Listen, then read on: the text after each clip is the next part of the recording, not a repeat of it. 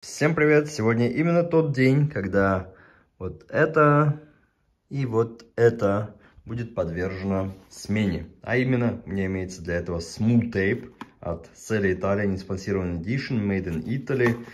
И посмотрим, как вот эта вот технология, которая позволяет иметь очень гладкую поверхность обмотки, а не вот такую вот, да, чик-чик-чик-чик-чик, Посмотрим, как это все на практике будет. Что вас ожидает в этом видео? Я замотаю обмотку не как всегда с низу начиная, а сверху.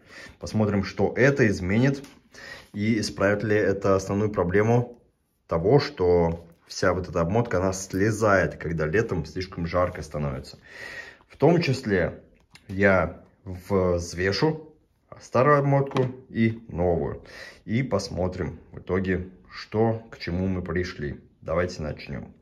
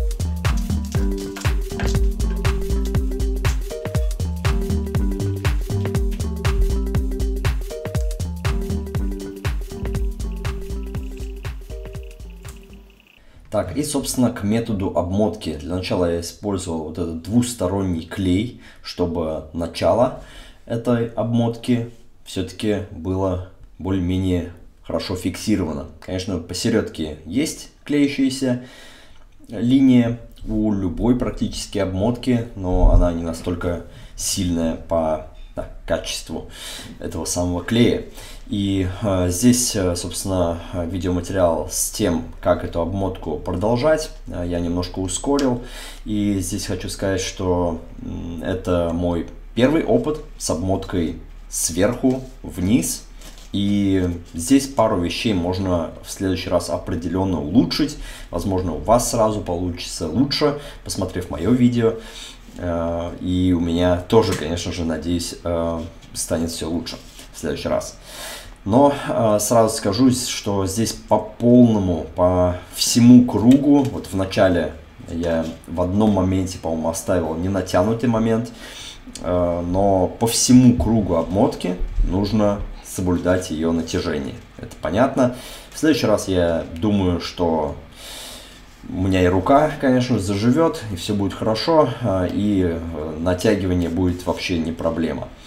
Вот, и, а, собственно, это основной момент. То есть э, в этом методе, как и в любом другом, просто соблюдайте натяжение этой самой обмотки. Также вот э, я использовал такую, как это называется, для белевая прищепка и она держала обмотку, пока я другими там делами какими-то занимался, а именно вот эту полоску дополнительную для шифтеров э, брал и э, клей там освобождал.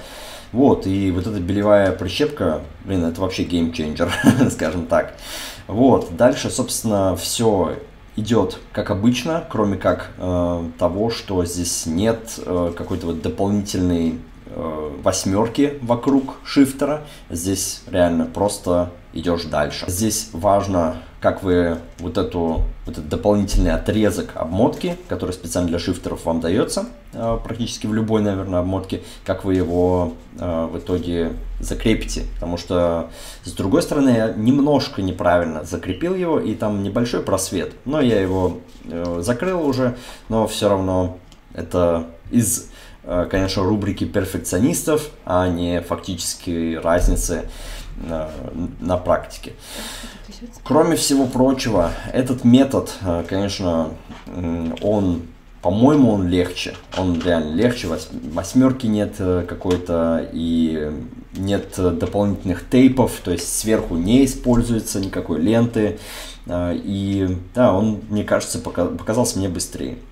Э, вот, еще раз, собственно, использую прищепку, пока, допустим, принесу пробку, или в данном случае у меня слева зеркальце, корки, тоже советую. Конечно, здесь тоже имеет смысл обрезать ненужную часть обмотки, а именно так, чтобы вот этот уголок он был в сторону шифтера. И в любом случае по корке я скажу, что он довольно-таки хрупкий. Он вообще классный, но он довольно-таки хрупкий. То есть э, там все-таки пластмасса используется, да, это все легко, э, то есть вес небольшой, но э, у меня трещина небольшая образовался, и вот этот весь шарнир, ну, он больше не так крепко держит это самое зеркало. А в стоке, как оно вот есть, оно держит очень хорошо. Проблема в том, что когда м, бывают такие ситуации, когда я коленом бывает ударю по этому зеркалу, видимо, вот произошло такое, э, и сломался. Вот. Коленом, причем, конечно, не когда я кручу э, педали, а когда вот подтягиваю, когда я сейчас стою на светофоре и нужно быстро-быстро как-то э, передвигаться. И бывает вот, короче, короче, лучше в следующий раз покажу, как это, что я имею в виду. Э, я лишь хочу сказать, что осторожнее с этим самым корки, если вы купили. Он классный, он реально классный, я до сих пор советую его, но он все-таки довольно-таки хрупкий прекрасная погода, разве что сумасшедший ветер, реально очень сильный.